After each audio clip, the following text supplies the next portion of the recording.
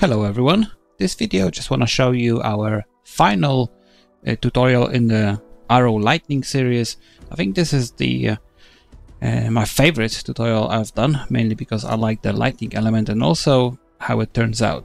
So first we work on two basic attacks, which is that one. We've got charge attack, which is the next one. And finally, we've done this AoE attack, which completes the series. So we'll be using a bunch of elements for that attack from uh, previous two parts and also we created a new uh, meshes and textures for the uh, decal and this uh, big lightning coming down.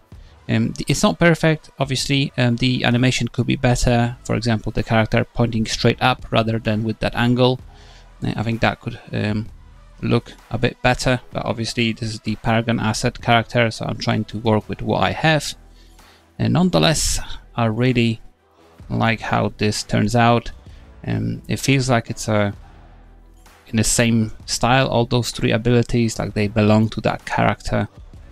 And to be honest I hope those of you with a subscription for tier 1 will enjoy this uh, series.